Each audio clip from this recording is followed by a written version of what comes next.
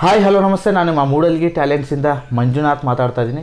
So ಇವತ್ತು ನಾವು ಬೆಳಗಾವಿ ಜಿಲ್ಲೆಯ ಸೌದತ್ತಿಯ ಸವದತ್ತಿ ಹತ್ತಿರದ ಚುಳುಕಿ ಎಂಬ ಚಿಕ್ಕ ಹಳ್ಳಿಯ ಒಬ್ಬ ವಿಶೇಷ ವ್ಯಕ್ತಿಯನ್ನು ನಾವು ಸಂದರ್ಶನ ಮಾಡಲಿಕ್ಕೆ ಬಂದಿದ್ದೀವಿ.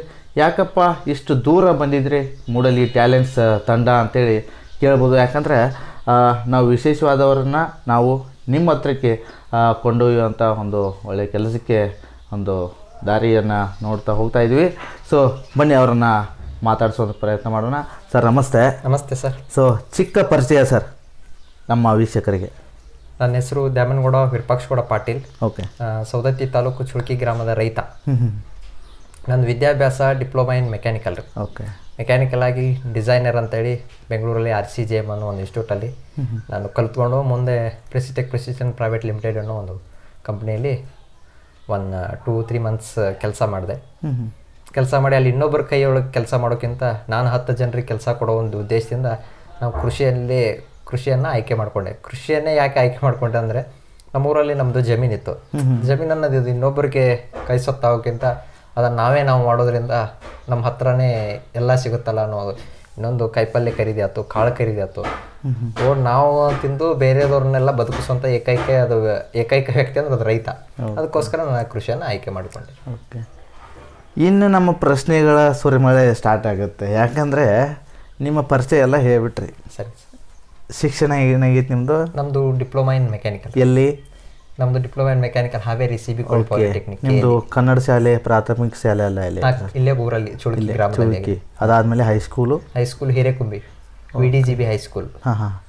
ಅದಾದ್ಮೇಲೆ ನೀವು ಡಿಪ್ಲೊಮಾವನ್ನು ಈ ಡಿಪ್ಲೊಮಾ ಮೆಕ್ಯಾನಿಕಲ್ ಕಲಿಬೇಕಂತೇಳಿ ಯಾರಾದರೂ ನಿಮಗೆ ಬೆನ್ನಲ್ಲಿ ನಿಂತು ಹೇಳಿದ್ರೆ ಇಂಥದ್ದು ಮಾಡಪ್ಪ ಡಿಪ್ಲೊಮಾ ಅಂತೇಳಿ. ನಮ್ಮೂರಲ್ಲಿ ನಮ್ಮ ಡಾಕ್ಟರ್ಸ್ ಇದ್ರು ಆರ್ ಸಿ ನವಲ್ಗುಂದ್ ಅಂತೇಳಿ ಅವರು ಹೇಳಿದರು. ಮತ್ತು ನಮ್ಮ ಅಣ್ಣವರು already diploma in mechanical final year ಇದ್ರು. ಅವರು ಅದ್ರ ಜೊತೆಗೆ ನಮ್ಮ ತಮ್ಮನ್ನು ನಾವು ಕರ್ಕೊಂಡು ಹೋಗೋದ್ರಿಂದ ಮತ್ತೆ ಇಬ್ರು ಒಂದು ಮುಂದೆ ಏನಾದರೂ ಒಂದು ಕಂಪ್ನಿ ಮಾಡ್ಬೋದು ಅನ್ನೋ ಒಂದು ಅನುಕೂಲಕ್ಕಾಗಿ ಅವರು ನನ್ನ ಡಿಪ್ಲೊಮಾ ಸೇರಿಸಿ ಡಿಪ್ಲೊಮಾ ಅಂದರೆ ನೀವು ಎಸ್ ಎಲ್ ಸಿ ಒಂದು ಉನ್ನತ ದರ್ಜೆ ಮಿಡಲ್ ಕ್ಲಾಸ್ ಈ ಕಡೆ ಹೈ. ಪರ್ಸೆಂಟೇಜ್ ಅಲ್ಲ ಈ ಕಡೆ ಫೇಲ್ ಅಲ್ಲ. ಒಂದು ಲೆವೆಲ್ಗೆ ಅವ್ರ ಮೆಕ್ಯಾನಿಕಲ್ ಅಂದ ತಕ್ಷಣ ನಿಮಗೆ ತಲೆಯಾಗಿ ಬಂದಿದ್ದೇನು? ಮೆಕ್ಯಾನಿಕಲ್ ಡಿಪ್ಲೊಮಾ ಯಾಕೆ ಮಾಡ್ಬೇಕ್ರಿ ಅಂತೇಳಿ. ಅಂದ್ರೆ ಅದೇ ರೀತಿ ಅವಾಗ ನನಗೆ ಫಸ್ಟ್ ಹೋದಲ್ಲಿ ಗೊತ್ತಾಗಿರ್ಲಿಲ್ಲ ರೀ. ಮೆಕ್ಯಾನಿಕಲ್ ಅಂದ್ರೆ ಗೊತ್ತಿರಲಿಲ್ಲ.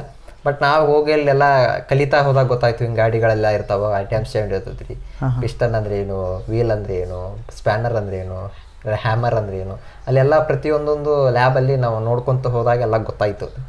ನಮಗೆ ಪ್ರಾಕ್ಟಿಕಲ್ ಇರ್ತಿತ್ತು ಥೇರಿನೂ ಇರ್ತಿತ್ತು. ಎರಡು ಜೊತೆ ಜೊತೆಗೆ ಮಾಡ್ಕೊಂತ ಖುಷಿ. ನಾವು ಲೇತ್ ವರ್ಕ್ ಎಲ್ಲ ಮಾಡುವಾಗ ನಾನೇ ಸ್ವಂತ ಎಲ್ಲ ಮಾಡ್ತಾ ಇದೀನಿಲ್ಲ ಅನ್ನೋ ಒಂದು ಖುಷಿ ಸಿಗ್ತಾ ಇತ್ತು. ಅದೆಲ್ಲ ಮುಗೀತು ಡಿಪ್ಲೊಮಾ ಮುಗೀತು. ಮತ್ತೆ ಜಾಬ್ ಎಲ್ಲಿ ಹೋದ್ರಿ ನೀವು? Job Bengaluru sir. Bengaluru. R C G M ಅಲ್ಲಿ ನಂದು ಕ್ಯಾಡು ಕ್ಯಾಟಿ ಅಲ್ಲೇ ಕಂಪ್ಲೀಟ್ ಮಾಡಿದೆ ಸರ್. ಓಕೆ ಡಿಸೈನಿಂಗ್ ಕ್ಯಾಡ್ ಎಲ್ಲ ಮುಗಿದ್ಮೇಲೆ ನೀವು ಕಂಪ್ನಿ ಕಂಪ್ನಿಯಲ್ಲಿ ಎಷ್ಟು ವರ್ಷ ಕೆಲಸ ಮಾಡಿದ್ರಿ? ಕಂಪ್ನಿಯಲ್ಲಿ ಒಂದು three months sir. Three months ಅಷ್ಟೇ. ತ್ರೀ ಮಂತ್ ಆದ ಕೂಡಲೇ ನಿಮ್ಗೆ ಬ್ಯಾಲೆನ್ಸ್ ಅನಿಸ್ಬಿಡ್ತಲ್ಲಿದ ಅಲ್ಲಿ ಅವರೆಲ್ಲ ಹೇಳಿ ಟೈಮ್ ಬರಬೇಕು ನೈಟ್ ಡ್ಯೂಟಿ ಆಯಿತು. ಆದರೆ ಸುಮ್ಮನೆ ಏನೋ ಸ್ವಲ್ಪ ಲೇಟ್ ಆದರೂ ಕೂಡ ಇಷ್ಟೊತ್ತಿಗೆ ಯಾಕೋ ಇದು ಯಾಕೋ. ಮತ್ತು ಕ್ಯಾಬ್ ಅಕಸ್ಮಾತ್ ಮಿಸ್ ಆದರೂ ನಾವು ಓನ್ ಕೊಟ್ಟಾದರೂ ನಾವು ಹೋಗ್ಬೇಕು ಕಂಪ್ನಿಗೆ ಸುಮ್ಮನೆ ಅವರು ಕೈಯಲ್ಲಿ ಇದನ್ನು ಮಾಡೋಕ್ಕಿಂತ ನಿಮಗೆ ತಲೆಯಾಗಿ ಬಂತು ಅಂದರೆ ಈಗ ಒಂದು ಕೆಲಸ ಸಿಗೋದನ್ನ ಒಂದು ಹೆಚ್ಚಿನ ಇರುತ್ತೆ ಬೆಂಗಳೂರಾಗ. ನಿಮ್ಮ ಕೆಲಸ ಸಿಕ್ತು ಮತ್ತು ತ್ರೀ ಮಂತ್ಸ್ ಆಯಿತು ಆಮೇಲೆ ಹೊಳ್ಳಿ ಯಾಕೆ ನಿಮಗೆ ಮನಿ ಕಡೆ ನೆನಪಾತು ಹೊಲದ ಕಡೆ ಯಾಕೆ ನೆನಪಾಯ್ತಂತ? ಈ ಪ್ರಶ್ನೆಗೆ ಉತ್ತರ ಸರ್. ಇಲ್ಲ ಏನಂತಂದ್ರೆ ನಮ್ಮ ಕಾಕವರು ಎಲ್ಲ ಕಮ್ತಾವನ್ ಮಾಡ್ಕೊಂಡು ಹೋಗ್ತಾ ಇದ್ರು. ಹಾಂ ಅವರು ಮೂವತ್ತು ನಲವತ್ತು ವರ್ಷದಿಂದ ಕಂಪ್ಲೀಟ್ಲಿ ಅವರು ಫಾರ್ಮಿಂಗ್ ಮಾಡ್ತಾ ಇದ್ರು. ನಾವು ಎಜುಕೇಷನ್ ಇದು ಚಿಕ್ಕವರಿದ್ದಾಗಲಿಂದ ಅದ್ರ ಜೊತೆ ಅವರೇ ಮಾಡ್ತಾ ಇದ್ರು. ನಾವು ಮುಂದೆ ಏನಾಯ್ತು ಕಾಲೇಜ್ಗೆ ಹೋದ್ಮೇಲೆ ನಮ್ಮದು ಮುಗಿದ ಮೇಲೆ ಜಾಬ್ ಹೋದಾಗ ನಮ್ಮ ಕಾಕರಿಗೆ ಆರಾಮಿರಲಿಲ್ಲ ಪ್ಯಾರಲೈಸಸ್ ಆಯಿತು. ಓಕೆ ಪಾರ್ಸಿ ಆದ ತಕ್ಷಣ ನಾನು ಅನಿವಾರ್ಯ ಕಾರಣದಿಂದ ಅಲ್ಲಿ ಹಾಸ್ಪಿಟ್ಲಿಗೆ ಕರ್ಕೊಂಡು ಹೋಗಕ್ಕೆ ಬಂತು ಬಂದಮೇಲೆ ಅವ್ರಿಗೆ ಫೋನ್ ಮಾಡಿದ್ರು ನಮ್ಗೆ ಹಿಂಗೆ ಬನ್ನಿ ಟೈಮಿಂಗ್ ಐತೆ ಅಂತ ಹೇಳಿದರು. ಒನ್ ಮಂತ್ ಆಯಿತು ಟೂ ಮಂತ್ಸ್ ಆಯಿತು ಹಾಸ್ಪಿಟ್ಲಲ್ಲೇ ಒಂದು ಸಿಕ್ಸ್ ಮಂತ್ಸ್ ಹೋಗಿಬಿಡ್ತು. ಸಿಕ್ಸ್ ಮಂತ್ ಹೋಗಿಂದ ಅವ್ರ ಕಂಪ್ನಿನೂ ಹಂಗಾರೆ ತೆಗೆದ್ರು ಬೇರೆದವರು ತೊಗೊಂಡ್ರು. ಆಮೇಲೆ ಅವ್ರಿಗೆ ಎಕ್ಸ್ಪೈರ್ಡ್ ಆಗಿಬಿಟ್ರು. ಸಿಕ್ಸ್ ಮಂತ್ ಆದ್ಮೇಲೆ ತೀರ್ಕೊಂಡ್ರು. ಇನ್ನು ಮುಂದೆ ಹೇಗಪ್ಪ? ಈ ಕಮತ ನಡೆಸೋದು ನಮ್ಮ ತಂದೆಯವ್ರಿಗೆ ಅಷ್ಟು ಜಮೀನು ಜಾಸ್ತಿ ಆಗುತ್ತೆ. ಮತ್ತು ನಮ್ಮ ಇನ್ನೊಬ್ಬರು ಅದರ ಕೃಷಿ ಮಾಡ್ತಾ ಇದ್ದ ಅವನಿಗೂ ಅಷ್ಟು ಅದವಾಗ ಇದನ್ನೆಲ್ಲ ಇಷ್ಟೆಲ್ಲ ಹೆಂಗೆ ಮುಂದೆ ದೂಡಿಸ್ಕೊಂಡು ಹೋಗೋದು ಅನ್ನೋ ಒಂದು ಕಾರಣಕ್ಕಾಗಿ ಇಬ್ಬರು ಜೊತೆಯಾಗಿ ಮಾಡೋಣ. ಏನು ನಿಂದ್ರ ಅಂದಾಕ್ಷಣ ಈ ಕೃಷಿ ಒಳಗೆ. ಎಷ್ಟು ಎಕರೆ ಇರ್ಬೋದು ನಿಮ್ಮದು ಒನ್ ಟ್ವೆಂಟಿ ಸರ್ ಒಂದು ನೂರ ಇಪ್ಪತ್ತು. ಟೋಟಲ್ ನಿಮ್ಮ ಕುಟುಂಬಕ್ಕೆ. ಕುಟುಂಬಕ್ಕೆ. ಕುಟುಂಬಕ್ಕೆ ನೂರು ನೀರಾವರಿನ ಒಂದು ಅರವತ್ತು ಎಕರೆ ನೀರಾವರಿ ಇದೆ. ಒಂದು ಅರವತ್ತು ಎಕರೆ ಒಣ ಬೇಸಾಯ. ಓಕೆ. ಈ ಒಣ ಬೇಸಾಯದಲ್ಲಿ ನಾವು ನೋಡ್ದಂಗೆ ಕೃಷಿ ಹೊಂಡ ಇವೆಲ್ಲ ಮಾಡೋದು ಭಾಳ ಕಟ್ಟು ತ್ರಾಸ ಐತಿ. ಯಾಕಂದ್ರೆ ಈಗ ಎಂಥ ಬಿಸಿಲಪ್ಪ ಅಂದ್ರೆ ಈಗ ನಿಮ್ಮ ಕಡೆ ಐದ್ ನಿಮಿಷ ನಿಂತಾವ ಹೊಳ್ಳಿ ಬಿಸಿಲಿಗೆ ಬರೋದಿಲ್ಲ ಸಂಜೆಕನ ಇದಕ್ಕನ ಇನ್ನಾಕನ ಹಿಂಗಾಗಿ ಇಂಥ ಒಂದು ಒಣಭೂಮಿ ಒಳಗೆ ಒಣ ಬೇಸಾಯವನ್ನು ನಂಬ್ಕೊಂಡು ಮತ್ತು ಅಲ್ಲೆಲ್ಲ ನೀವು ಪಕ್ಷಿ ಪಕ್ಷಿಧಾಮ ಕೂರುವಂಥ ಅಂದರೆ ಸೇರುವಂಥ ಒಂದು ಹೊಂಡವನ್ನು ಮಾಡೋದಾಗಲಿ ಕೆರೆಯನ್ನು ನಿರ್ಮಿಸೋದಾಗಲಿ ನಿಮಗೆ ತೋಟಕ್ಕೆ ಎಷ್ಟು ಬೇಕು ಅಷ್ಟು ಎಲ್ಲ ಮಾಡ್ಕೋದಾಗಲಿ ಅದು ಹೆಂಗೆ ಥಾಟ್ ಎಲ್ಲ ಹೆಂಗೆ ಬಂತು? ನೀವು ಎಲ್ಲಿಯಾದರೂ ಏನು ಇಲ್ಲ ನೋಡಿರಲಿಲ್ಲ ನೋಡಿರ್ಲಿಲ್ಲ ಸರ್ ಇದೇ ಫಸ್ಟು ನಮ್ಮ ಹೊಲದೊಳಗೆ ಅದೇನಾಗಿತ್ತು ಅದೊಂದು ಹಳ್ಳ ಸರ್ ಹಳ್ಳ ವೇಸ್ಟ್ ಆಗಿ ಎಲ್ಲ ಮಣ್ಣುಗಳನ್ನ ಕೊರ್ಕೊಂಡು ಬೇರೆ ಜಾಗಕ್ಕೆಲ್ಲ ಹೋಗ್ತಾ ಇತ್ತು. ಈ ಮಣ್ಣನ್ನ ನಮ್ಮ ಹೊಲದೊಳಗೆ ನೀರನ್ನು ನಿಂದ್ರಿಸೋದ್ರಿಂದ ಮಣ್ಣು ಸವಕಳಿನ ತಪ್ಪಿಸ್ಬೋದು. ಅಂದರೆ ಮಣ್ಣನ್ನು ಬೇರೆ ಜಮೀನು ಹೆಚ್ಚು ಕಮ್ಮಿ ಒಂದು ಎರಡು ಸಾವಿರ ಹೆಕ್ಟರ್ದು ನೀರು ಅಲ್ಲೇ ಬರುತ್ತೆ ಸರ್. ಆ ನೀರನ್ನ ಶೇಖರಣೆ ಮಾಡಲಿಕ್ಕೆ ಮಾತ್ರ ಅಲ್ಲಿ ಸಾಧ್ಯ. ಅದು ಬೇರೆದವ್ರು ಮಾಡಕ್ ಬರುತ್ತಾ ಅಂತ ಕೇಳ್ಬೋದು ಸರ್. ಬೇರೆದವರು ಮಾಡ್ಬೋದು ಬಟ್ ನಿಮಗೆ ಕ್ಷೇತ್ರ ಜಾಸ್ತಿ ಇರಬೇಕಲ್ಲ. ಈಗ ನೀರು ನಿಂತಂದ್ರೆ ಬೇರೆದವ್ರು ಹೊಲಕ್ಕೆ ಹೋದ್ರೆ ತೊಂದರೆ ಆಗುತ್ತೆ. ಈಗ ಎಂಟು ಎಕರೆನೂ ಅದು ನಮ್ಮ ಹೊಲದಲ್ಲೇ ಇದೆ. ಹಾಗಾಗಿ ನಮಗೆ ತೊಂದರೆ ಇಲ್ಲ. ಅದು ಒಮ್ಮೆನೂ ಮಾಡೋಕ್ಕಾಗಲ್ಲ ಸರ್. ಪ್ರತಿ ವರ್ಷ ವರ್ಷ ಡೆವಲಪ್ಮೆಂಟ್ ಮಾಡ್ಕೊತ ಹೋಗ್ಬೇಕು. ಯಾಕಂದ್ರೆ ಎಷ್ಟು ಹೆಚ್ಚು ಕಮ್ಮಿ ಒಂದು ನಾಲ್ಕರಿಂದ ಐದು ಲಕ್ಷ ಬರೀ ಕೃಷಿ ಹೊಂಡಕ್ಕೆ ಹೋಗುತ್ತೆ ಸರ್. ಅದಕ್ಕೋಸ್ಕರ ಪ್ರತಿ ವರ್ಷ ಅದನ್ನ ಮಾಡಿ ಫಸ್ಟ್ ಕೃಷಿ ಹೊಂಡ ಮಾಡಿಕೊಂಡು ಆಮೇಲೆ ಗಿಡಗಳನ್ನು ನೆಡ್ತಾ ಇದ್ವಿ ಸರ್. ಯಾವ್ಯಾವ ಬೆಳೆಗಳನ್ನ ನೀವು ಬೆಳೆದಿದ್ರಿ? ಸಮಗ್ರ ಇದೆ ಸರ್ ನಮ್ದು. ಸಮಗ್ರ. ಕೃಷಿ. ಅಂದರೆ ಒಂದು ನಾಲ್ಕೈದು ಹೇಳ್ಬೋದು. ಸಮಗ್ರ ಕೃಷಿ ಅಂದ್ರೆ ಇದು ಕೃಷಿ ಇದಂತಂದ್ರೆ ನಮಗೆ ಹೆಸರು ಕಡಲೆ ಜೋಳ ಗೋಧಿ ಬರುತ್ತೆ. ಮತ್ತೆ ತೋಟಗಾರಿಕೆ ಬೆಳೆಗಳು ಈರುಳ್ಳಿ. ಯಾವ ತಳಿ ಏನು? ಯಾವುದು? ಎಲ್ಲ ತಳಿ ಹೈಬ್ರಿಡ್ ಇದು ಎಲ್ಲ ಬರುತ್ತಲ್ಲ? ಯಾವ ತಳಿ? ಹೆಸರು ನಿರ್ಮಲ ಅಂತ ಹೇಳಿ. ಆಮೇಲೆ ಕಡಲೆ ಜಾಕಿ. ಓಕೆ. ಜಾಕಿ ವೆರೈಟಿ ಇರೋದು.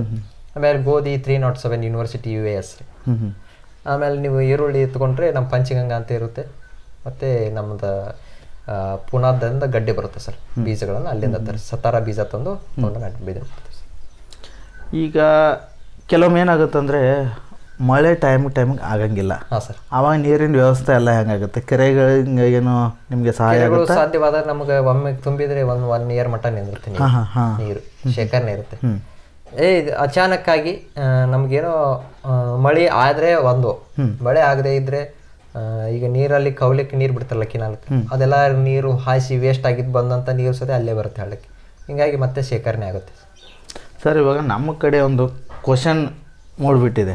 ಏನಂದರೆ ಶಾಲೆ ಕಲಿಯೋದು ನೌಕರಿ ಮಾಡೋದು ಅವ ಅಪ್ಪನ ಸಾಕೋದು ಇಷ್ಟೇ. ಅಂತ ತಲೆ ಮೈಂಡ್ ಫಿಕ್ಸ್ ಆಗಿಬಿಟ್ಟೈತೆ. ಸೊ ಅದಕ್ಕೆ ನೀವು ಒಂದು ಸರ್ ಇನ್ನು ಏನಂತೀರ ಇನ್ನೊಂದ್ರಿ. ಇನ್ನೊಂದು ರೀ ಹಾಂ.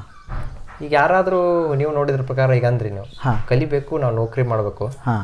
ಕಲಿತು ನೌಕರಿ ಮಾಡಿ ದುಡ್ಡು ಮಾಡಬೇಕು. ದುಡ್ಡು ಮಾಡೋದು ಬಂತಂದ್ರೆ ಇನ್ನೊಂದು ಏನು ಬರುತ್ತೆ ಮುಂದೆ ನೀವು ಸ್ವಲ್ಪ ವಯಸ್ಸಾತ ತಂದೆ ತಾಯಿ ಏನು ಮಾಡ್ಬಿಡ್ತೀರ? ಅನಾಥಾಶ್ರಮಗಳಿಗೆ ಇವಾಗ ಇಂಜಿನಿಯರ್ ನೋಡಿ ಡಾಕ್ಟರ್ಸ್ ನೋಡಿ ಅತಿ ಒಂದು ದೊಡ್ಡ ಹುದ್ದೆಗೆ ಏನು ಹೋಗಿದಾರಲ್ಲ ಇವ್ರ ಮಕ್ಕಳು ಮಾತ್ರ ಅನಾಥಾಶ್ರಮ ಯಾರಾದ್ರೂ ಯಾರಾದರೂ ರೈತನ ಮಕ್ಕಳು ತಾಯಿಗಳು ತಂದೆ ತಾಯಿ ಎಲ್ಲರೂ ಅನಾಥಾಶ್ರಮ ಇಲ್ಲ ಇಲ್ಲ ಸಾಧ್ಯವೇ ಇಲ್ಲ ಸಾಧ್ಯವೇ ಇಲ್ಲ. ಅಲ್ಲ ಬೇಕಾದಂತ ಒಬ್ಬ ಸಣ್ಣ ಫಾರ್ಮರ್ ಇರಲಿ ದೊಡ್ಡ ಫಾರ್ಮರ್ ಇರಲಿ ಯಾರೋ ಇರಲಿ ಇವತ್ತು ಅವನು ಇವತ್ತು ಒಂದು ಕೋಟಿ ಇದೆ ಅಂತಂದ್ರು ಯಾವ ರೈತನು ಕೂಡ ಹೋಗಿ ತಂದೆ ತಂದೆ ತಂದೆ ತಾಯಿನ ಅನಾಥಾಶ್ರಮಕ್ಕೆ ಹೌದು. ಎಜುಕೇಟೆಡ್ ಕೊಡಬೇಕು ನಮ್ಮ ಮಕ್ಕಳಿಗೆ ಶಿಕ್ಷಣ ಎದಕ್ಕೂ?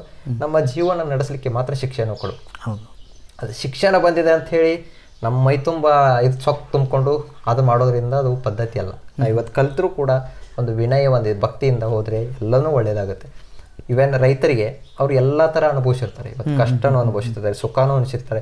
ಇವತ್ತು ನಾವು ಇವತ್ತೊಬ್ಬ ಶ್ರೀಮಂತ ವ್ಯಕ್ತಿ ಅಥವಾ ಯಾರೋ ಇನ್ನೊಬ್ರಿಗೆ ಯಾರಿಗೂ ನಾವು ಹೇಳಿಸಿ ಮಾತಾಡ್ತಾ ಇಲ್ಲ ಅವ್ರು ಏನಾದರೂ ಕುಂತ್ರೆ ನಾನು ಫೈವ್ ಸ್ಟಾರ್ ಹೋಟೆಲಲ್ಲಿ ಕುಂತು ಊಟ ಮಾಡ್ತಾ ಇದ್ದೀನಿ ಅನ್ನೋ ಒಂದು ಇದನ್ನ ಹೇಳ್ತಿರ್ತಾರೆ.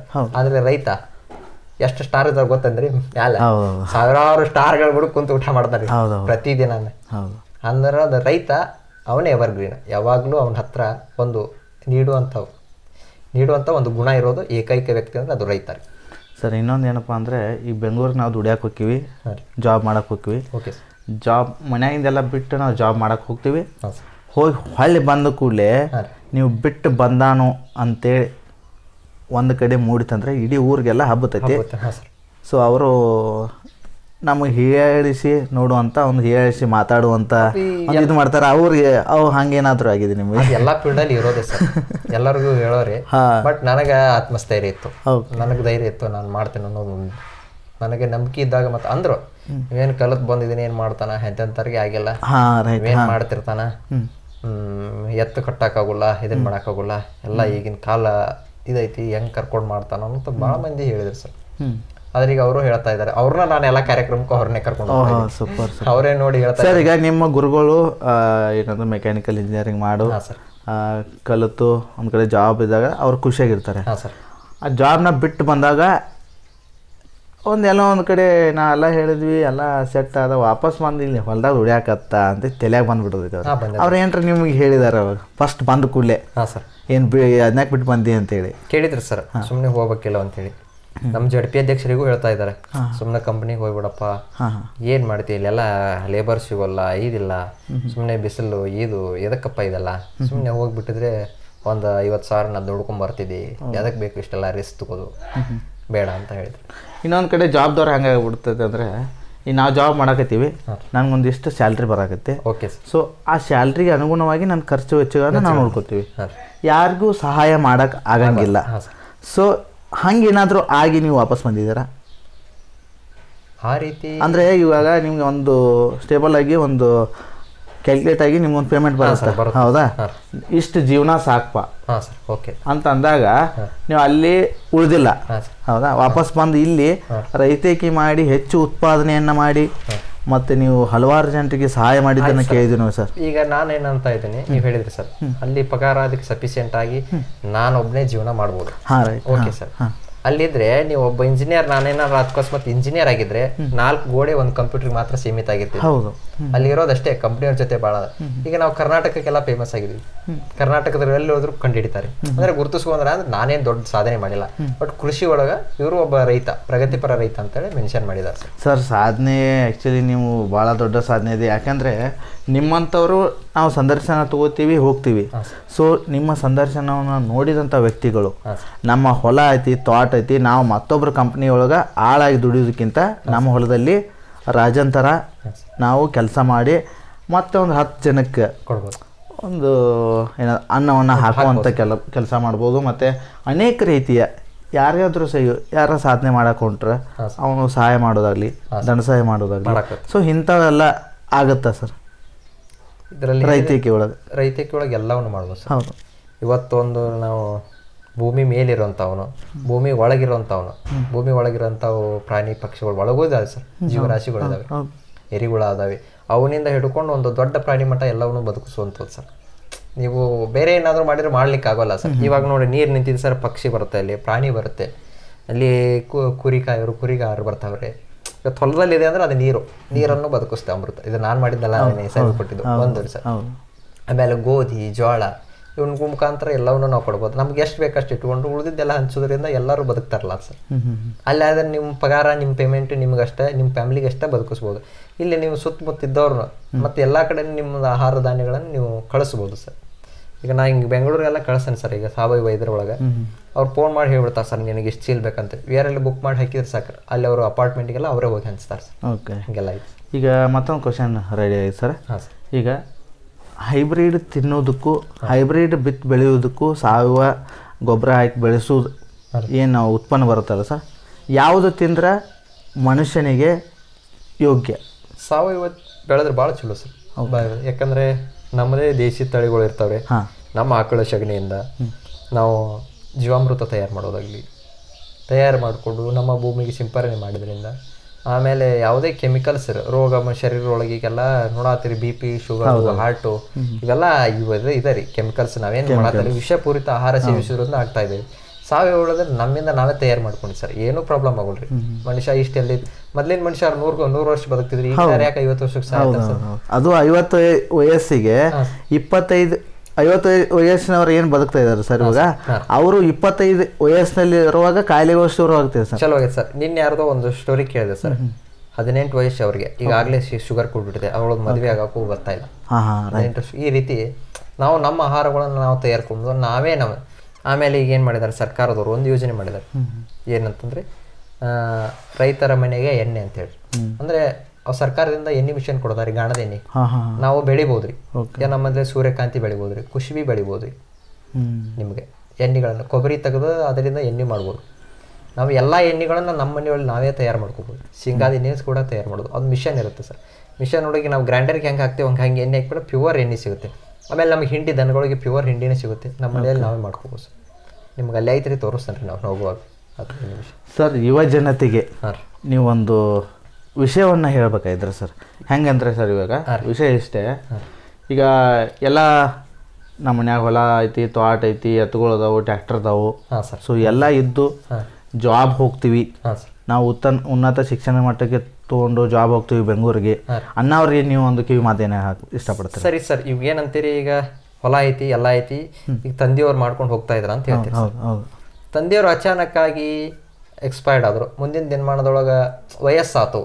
ಅವಾಗ ಇವು ಮಕ್ಕಳಿಗೆ ಎಲ್ಲಿ ನಮ್ಮ ಹೊಲ ಇರ್ತತಿ ಯಾವ್ದು ಮ್ಯಾರಿ ಯಾವ್ದು ಒಡ್ಡು ಅದೇನು ಗೊತ್ತೇ ಇರಲ್ಲ ಸರ್. ಎಷ್ಟು ಟ್ಯಾಕ್ಟರ್ ಅದಾವು ಹೆಂಗೆ ಲೋನ್ ಇರ್ತತಿ ಯಾವ ರೀತಿ ಏನೈತಿ ಅನ್ನೋದು ಗೊತ್ತಾಗಲ್ಲ. ಯಾಕಂದ್ರೆ ಇವರು ಹೊರಗಿನ ಜೀವನದೊಳಗೆ ಬಂದ್ಬಿಟ್ಟಿರ್ತಾರೆ ಆಮೇಲೆ ಇಲ್ಲಿ ಬಂದು ಹೊಂದ್ಕೊಳಕ್ಕೂ ಸಮಸ್ಯೆ ಸರಿ. ಆಗೋಲ್ಲ ಸರ್ ಆಮ್ಯಾಗ ಅರ್ಧ ಜೀವನ ಅಲ್ಲಿ ಹೋಗಿಬಿಟ್ಟಿರ್ತದೆ ಸ್ವಲ್ಪ ನನ್ನ ಪ್ರಕಾರ ಏನಂತಂದ್ರಿ ಒಂದು ಎಲ್ ಕೆ ಜಿ ಇಂದಾನೆ ಕೃಷಿ ಅನ್ನೋದೊಂದು ವಿಷಯಗಳನ್ನು ಶಾಲೆ ಒಳಗೂ ಕೂಡಿಸ್ಬೇಕ್ರಿ. ಯಾಕಂದ್ರೆ ಯಾವುದೇ ವಿಷಯದೊಳಗೆ ಈಗ ಅವನು ನೌಕರಿ ಬರದೇ ಇದ್ದಾಗ ಖಾಲಿ ಇರೋ ಬದ್ದಿ ಕೃಷಿ ಅನ್ನೋದೊಂದು ಮಾಡ್ಕೊಂಡು ಹೋಗಿರ್ತದಲ್ಲ ಇಲ್ಲಿ ಪಾಠ ಓದಿದ್ದು ಪ್ರಾಕ್ಟಿಕಲ್ ಆಗಿ ಒಬ್ಬರು ಹೊಲಕ್ಕೆ ಹೋಗಿ ಅವನ್ನೆಲ್ಲ ತೋರಿಸ್ಬೋದು. ಹಿಂಗೆ ಮಾಡ್ತಾರೆ ಈ ರೀತಿ ಬೆಳೆ ಮಾಡೋದು ನಾಟಿ ಮಾಡೋದು ಅವ್ರ ಮಕ್ಕಳಿಗೆಲ್ಲ ಹೇಳ್ಕೊಡೋದು. ಒಂದು ವೇಳೆ ಅವ್ರಿಗೆ ಉದ್ಯೋಗ ಸಿಗದೇ ಇದ್ದಾಗ ಹೊತ್ತಲ್ಲಿ ಅವ್ರು ಆಟೋಮೆಟಿಕ್ ನಮ್ಮ ಕೃಷಿ ಒಂದು ವಿಭಾಗದವ್ರು ಮಾಡ್ಕೊಂಡು ಹೋಗಿ ನೀವು ತಂದೆ ತಾಯಿಗಳಿಗೂ ಸಹಿತ ಒಂದು ಕಿವಿ ಮಾತು ಹೇಳ್ಬೇಕು ಸರ್. ಯಾಕಂದ್ರೆ ನಾವು ಮಾಡಿದ್ದ ನಮ್ಮ ಮಕ್ಕಳು ಮಾಡಬಾರ್ದು. ಒಳ್ಳೆ ಶಾಲೆ ಕಲಿಬೇಕು ಒಳ್ಳೆ ಮಾಡ್ತಾರೆ ಈಗಿನ ಅಂತ. ಕಾಲದೊಳಗೆ ರೈತರಿಗೆ ಕನ್ಯೆ ಕೊಡ್ತಾ ಇಲ್ಲ. ಹೌದು ಹಾ ಅದು ಯಾಕಂತಂತಂದ್ರಿ ಅವರು ಮಕ್ಕಳು ರೊಟ್ಟಿ ಬಡಿಯಕ್ ಬರೋಲ್ರಿ ಈಗಿನವ್ರದ್ದು. ಹೌದು. ರೊಟ್ಟಿ ಬಡಿಯಕ್ ಬರೋಲ್ಲ ಒಟ್ಟದು ಆಮೇಲೆ ಅಕಸ್ಮಾತ್ ಆ ಮನೆಗೆ ಏನಾರು ಕೊಟ್ರ ಅತ್ತಿ ಮಾವ ಮೈದನಗಳು ಅಕ್ಕ ತಂಗಿಯಾರು ಇವ್ರಿಗೆಲ್ಲ ರೊಟ್ಟಿ ಬಡದ್ ಹಾಕೋದು ನನ್ನ ಮಗಳಿಗೆ ತ್ರಾಸಕತಿ ಆಕತಿ. ಮತ್ತ ಇವರು ವಾರಕ್ಕೊಮ್ಮೆ ವೀಕೆಂಡ್ ಅಂತೇಳಿ ಆ ಪ್ರವಾಸ ಈ ಪ್ರವಾಸ ಅಲ್ಲಿ ಅಡ್ಡಾಡ್ತ ಈ ರೈತಗೆ ಎಲ್ಲಿ ಪ್ರವಾಸ ಇಲ್ಲ ಹೌದು. ಹೋದ್ರ ಹೊಲ ಬಂದ್ರ ಮನಿ. ಯಾವರ ಕಾರ್ಯ ಕಟ್ನ ಇಟ್ಟಿದ್ರು ಹೋಗ್ಬೋದು ಈ ಒಂದು ವಿಷಯಕ್ಕಾಗಿ ಮಗಳಿಗೆ ತ್ರಾಸ ಆಗಬಾರ್ದು. ಮಗಳು ಆರಾಮಿರಲಿ ಅನ್ನೋ ಒಂದು ಕಾರಣಕ್ಕಾಗಿ ಎಲ್ಲರ ತಲೆ ಒಳಗೆ ಏನು ಮಾಡತ್ರಿ? ನೌಕರಿ ಇದ್ದವ್ರಿಗೆ ಕೊಡಬೇಕು ನೌಕರಿ ಇದ್ದವ್ರಿಗೆ. ಮತ್ತೆ ಇತ್ತಿತ್ತಲಾಗ ಗೋರ್ಮೆಂಟ್ ನೌಕರಿ ಇದ್ದವ್ರಿಗೆ ಕೊಡಬೇಕು ಅಂತ ಸರ್ ಗೋರ್ಮೆಂಟ್ ನೌಕರಿ ಓಕೆ ಗೌರ್ಮೆಂಟ್ ಗೋರ್ಮೆಂಟ್ ನೌಕರಿ ಇದ್ದು ಹೊಲ ಕೇಳ್ತಾರ ಸರ್ ಯಾವ್ದು ಯಾಕೆ? ಅಂದ್ರೆ ಸರ್ ಇವ್ರು ನಾಳೆ ನೌಕರಿ ಹೋದ್ರು ರೀ. ಏನಾರ ಆಗಿ ಪ್ರಾಬ್ಲಮ್ ಆದ್ರು ಹೊಲ ಮಾರ್ಕೊಂಡು ಆರಾಮ್ ಇರ್ಬೋದು. ಹಿಂಗಾಗಿ ಇದು.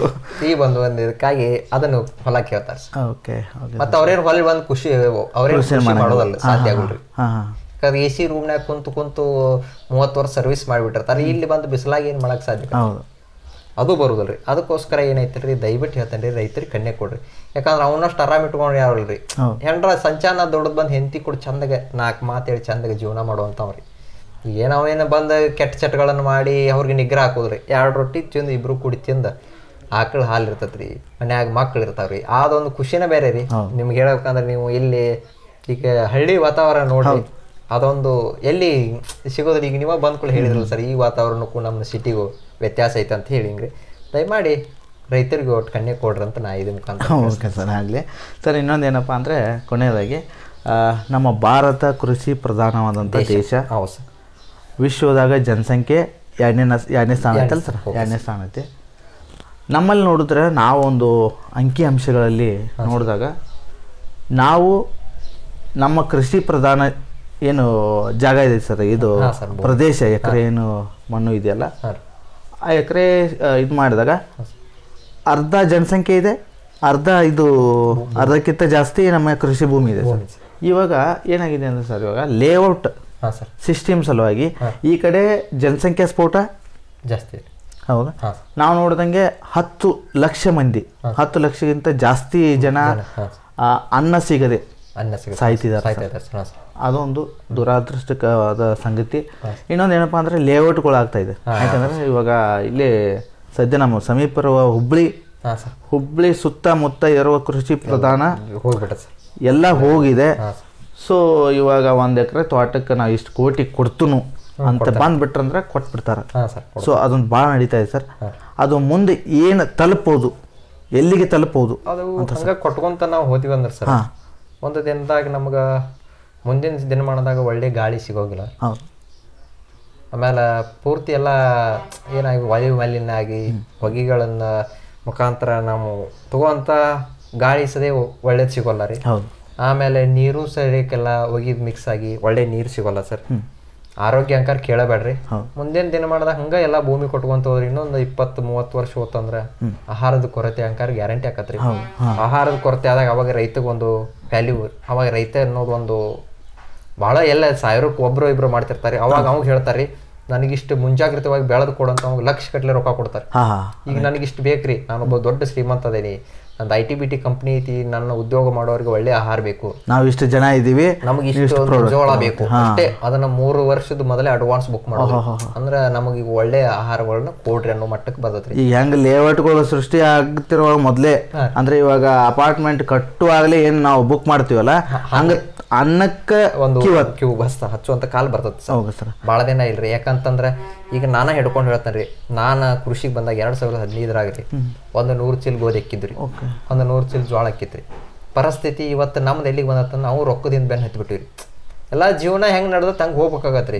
ಈಗ ನಾನು ಅಷ್ಟು ರೊಕ್ಕದ ಮಾಲ ಹಾಕಿಬಿಟ್ಟೇನ್ರಿ ಹತ್ತಿ ಹೆಸರು ಇವೇನ ಗೋವಿನ ಜೋಳ ಇವೆಲ್ಲ ರೊಕ್ಕದ ಮಾಲ ಹಾಕಿಬಿಟ್ಟೆ ತಿನ್ನಾಕ್ರಿ ಜೋಳ ಗೋಧಿ ಬೇಕಲ್ರಿ.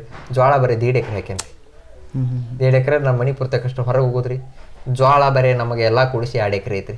ಅದು ಮನಿಗೆ ಹಾಕತ್ರಿ. ಮತ್ತು ಹೊರಗೆ ಹೆಂಗೆ ಕಳ್ಸೋದು ಹಿಂಗೆ ನಮ್ಮಂಥ ದೊಡ್ಡ ರೈತರು ಮಾಡತ್ರ ಮತ್ತು ಸಣ್ಣ ರೈತರು ರೊಕ್ಕಕ್ಕಾಗಿ ಮಾಡ್ಬೇಕು. ಅವಾಗ ಆಹಾರ ಕೊರತೆ ಆಟೋಮೆಟಿಕ್ ಆಕತಿ ಪ್ರತಿಯೊಂದು ಕಡೆನೂ ಹಿಂಗೆ ಹಾಕೊಂತ ಹೋದಾಗ ಎಲ್ಲರೂ ಮನಿ ಕಷ್ಟ ಹಾಕೊಂತ ಹೋಗಿ ನಮ್ಮ ಮನಿ ಪೂರ್ತಕ್ಕಷ್ಟು ಅಂದಾಗ ಮತ್ತು ಬೇರೆದವ್ರಿಗೆ ಎಲ್ಲಿ ಹೋಗೋದ್ರಿ? ಮನಿ ಪೂರ್ತಕ ಆತಾರೆ ನೀವು ಹೊರಗನೆ ರೀ ತಿನ್ನೋದು? ಅದಕ್ಕೆ ಮುಂದಿನ ಏನು ಮಾಡಿದಾಗ ಬರ್ಬರ್ತ ಡಿಫಾಲ್ಟ್ ಹಾಕೊಂತ ಹೋಗತ್ರಿ ಸರಳ ಅಂಕಾರ ಇಲ್ರಿ. ಇನ್ನೊಂದು ಅಂತಂದ್ರೆ ನಾ ಹೇಳತ್ತೇನಲ್ರಿ ಮುಂದಿನ ಏನು ಮಾಡಿದಾಗ ಟ್ಯಾಬ್ಲೆಟ್ಸ್ ಥರ ಹಾಕತ್ರಿ. ಓಕೆ ಅಂದ್ರೆ ಊಟದ ಗುಳಿಗೆ ಬರ್ಬೋದು. ಬರ್ಬಂದ್ರು ನಮ್ಮ ದೇಶಕ್ಕೆ ಇನ್ನೂ ದೂರ ರೀ. ದೂರ ಆದ್ರೆ ಈಗಿಂತ ನಾವು ವಿಚಾರ ಮಾಡ್ಕೊಂಡು ಯುವಕರು ತಿಳುವಳಿಕಿದ್ದವರು ಕೃಷಿಗೆ ಬಂದು ಒಂದು ಸ್ವಲ್ಪ ಏನಾರು ಹಿಡ್ಕೊಂಡು ನಾವು ನಮ್ಮ ಮಾಡ್ಕೋಬೇಕು ಆರ್ಗ್ಯಾನಿಕ್ ಕೃಷಿ ಮಾಡಿಕೊಂಡು ನಾವು ಏನು ಕೆಮಿಕಲ್ಸ್ ಇಲ್ಲ ಉಪಯೋಗ ಮಾಡಿ ಎಲ್ಲರಿಗೂ ಪರಮಾತ್ಮ ಕೊಟ್ಟಿದ್ದು ಒಂದು ನೂರು ವರ್ಷ ಆಯಸ್ ಸರಿ ಯಾರಿಗೂ ಕ- ಹೆಚ್ಚು ಕಡಿಮೆ ಕೊಟ್ಟಿಲ್ಲ. ಪ್ರತಿಯೊಬ್ಬರಿಗೂ ಕೊಟ್ಟಾನ ನಾವು ಹಾಳು ಮಾಡ್ಕೋಬೇಕು. ನಾವು ಒಳ್ಳೆಯ ಆಹಾರಗಳನ್ನು ಸೇವನೆ ಮಾಡೋದ್ರಿಂದ ಏನೂ ಆಗೋಲ್ರಿ. ನಾವು ದುಶ್ಚಟಗಳನ್ನು ಮಾಡೋದ್ರಿಂದ ಅಥವಾ ಬೇಕಂತ ಅಲ್ಲಿ ಗಾಡಿ ಬರ್ತೈತಿ ಯದ್ವಾತ ದೋ ಸ್ಪೀಡ್ ಒಂದು ನೂರ ಇಪ್ಪತ್ತು ನಾವೇನು ಪರಮಾತ್ಮ ಹೊಡಿ ಅಂತ ಇಲ್ಲ ನಾವು ನಮ್ಮ ಲೆವೆಲ್ ಒಳಗೆ ನಾವು ನಲ್ವತ್ತು ಸ್ಪೀಡ್ ಇಟ್ಕೊಂಡು ಹೋದ್ರೆ ನಾವು ಹೋಗೋ ಜಾಗಕ್ಕೆ ಹೋಗ್ತೀವಿ. ಏ ಗಾಡಿ ಕೊಟ್ಟ ಅಂತ ನೂರ ಇಪ್ಪತ್ತು ಹೋಗಿ ನಾವು ಎದುರಿಗೆ ಹೊಡೆದು ಸತ್ರ ಏನು ಮಾಡೋಕ್ಕಾಗತ್ತೆ ಪರಮಾತ್ಮ? ನಾವು ಕೊಟ್ಟಿರೋದು ಎಲ್ಲರಿಗೂ ಆಯಸ್ ಒಂದು ನೂರು ವರ್ಷ. ನಾವು ಆಹಾರಕ್ಕೆ ಒಳ್ಳೆ ಆಹಾರ ತಿಂದವ್ರುಗಳು ನೂರು ವರ್ಷ ಬದುಕಿದ್ದಾರೆ ಅಥವಾ ಏನೋ ಒಟ್ಟು ಪ್ರಾಬ್ಲಮ್ ಆಗಿ ನಾವು ಆರೋಗ್ಯವನ್ನು ನಾವು ಇಟ್ಟು ಕಾಪಾಡ್ಕೊಳ್ಳಿಲ್ಲ ಅಂದ್ರೆ ಮಾತ್ರ ಸಾಯ್ಬೋದು. ಅದಕ್ಕೂ ಏನಿಲ್ಲ. ಸರ್ ಈಗ ಆಹಾರ ಬಗ್ಗೆ ನಾವು ಮಾತಾಡ್ತಾ ಇದ್ವಿ. ಸೊ ಆಹಾರ ಬಗ್ಗೆ ಒಂದು ಒಂದು ಪುಡಿ ಒಂದು ಹಿಟ್ಟು ಇಡೀ ಜಗತ್ತನ್ನು ಆಟ ಆಡಿಸ್ತಾ ಇದೆ. ಅದ್ರ ಹೆಸರು ಮೈದಾ ಅಂತ.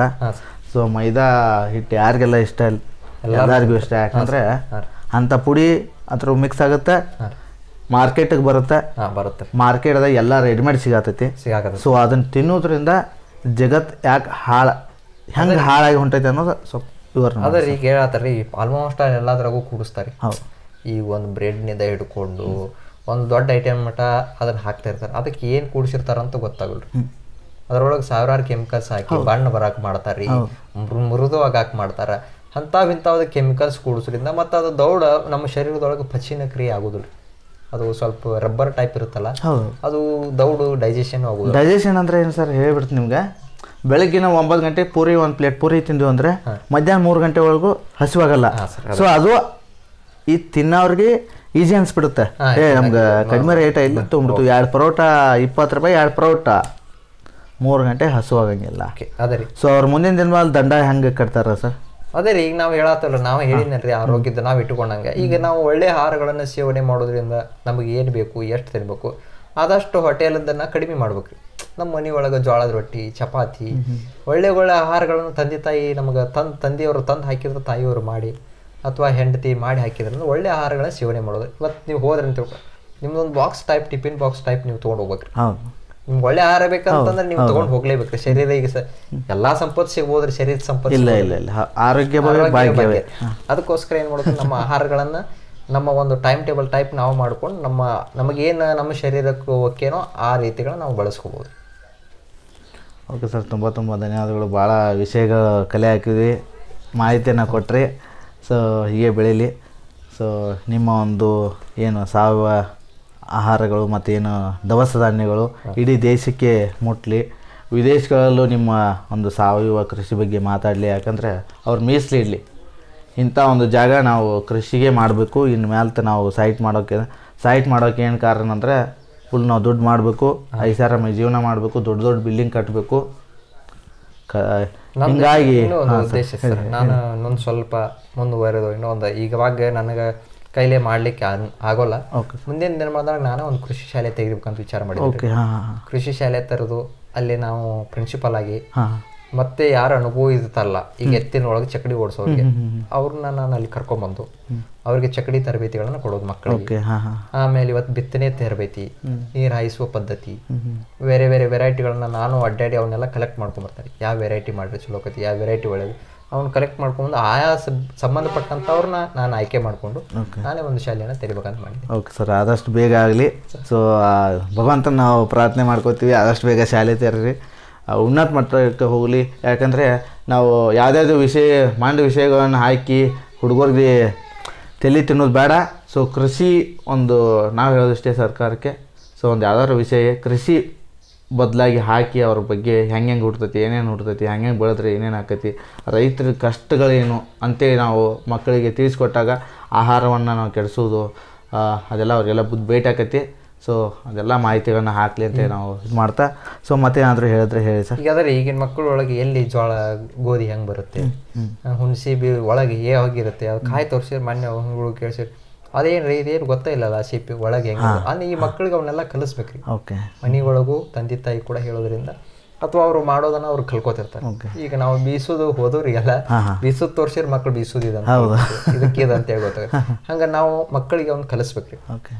ಮುಂದಿನ ದಿನಗಳ ಕೃಷಿ ಈಗ ಕೃಷಿ ಹೆಂಗಂತಂದ್ರೆ ಇನ್ನೇ ಮುಂದಿನ ದಿನದೊಳಗೆ ಎತ್ತುಗಳು ನಶಿಸಿ ಹೋದ್ರಿ ನಾ ಇಲ್ಲ ಮಿನಿ ಟ್ರ್ಯಾಕ್ಟರ್ಸ್ ಬಂದ್ರು ಎಲ್ಲ ಅದಕ್ಕೆ ಹಾಕೊಂಡ ಎತ್ತುಗಳನ್ನ ಏನಪ್ಪಾ ಅದಕ್ಕೆ ಮತ್ತೆ ಹೊಟ್ಟು ಹಾಕ್ಬೇಕು ನೀರು ಕುಡಿಸ್ಬೇಕು ಒಳಗೆ ಕಟ್ಟಬೇಕು ಹೊರಗೆ ಕಟ್ಟಬೇಕು.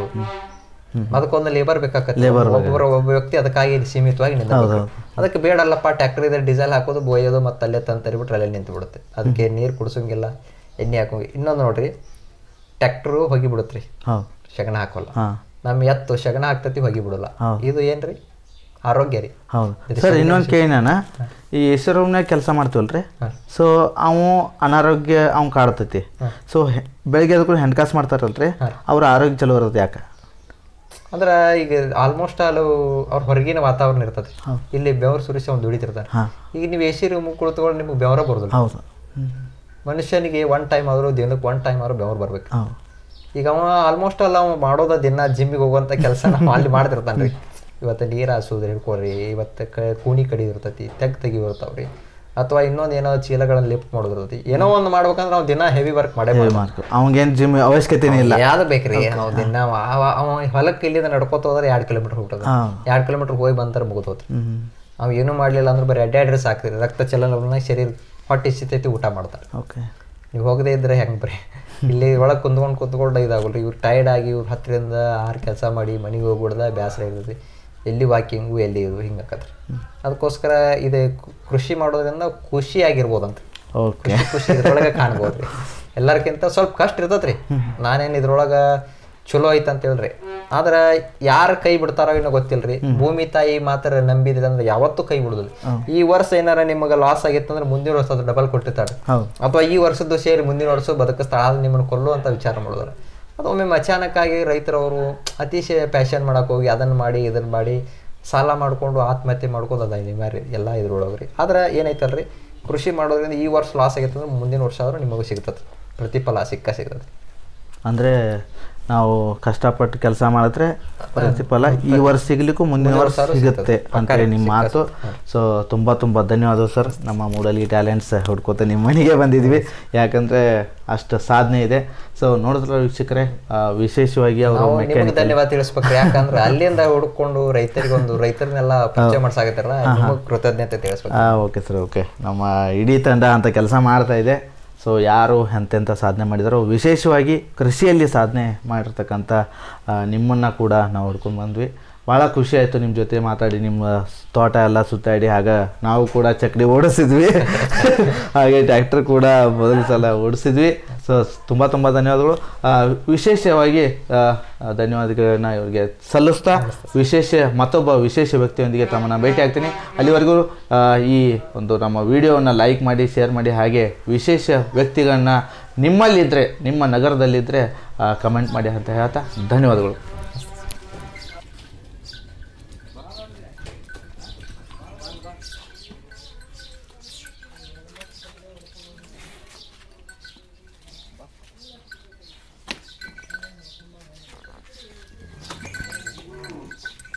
ಟ್ರ್ಯಾಕ್ಟರ್ ಕೊಡೀಗ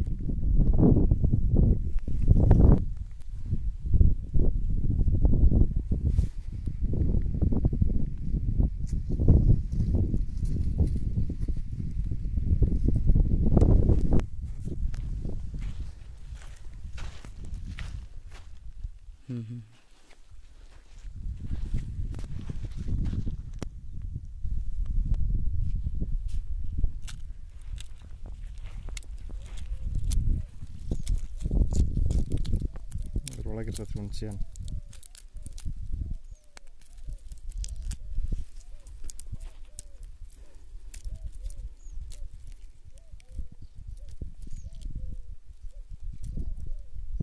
ಹುಣಸೆ ಬೀಜ ರೀ ಹುಣಸೆ ಹಣ್ಣು ಹ್ಞೂ ಹ್ಞೂ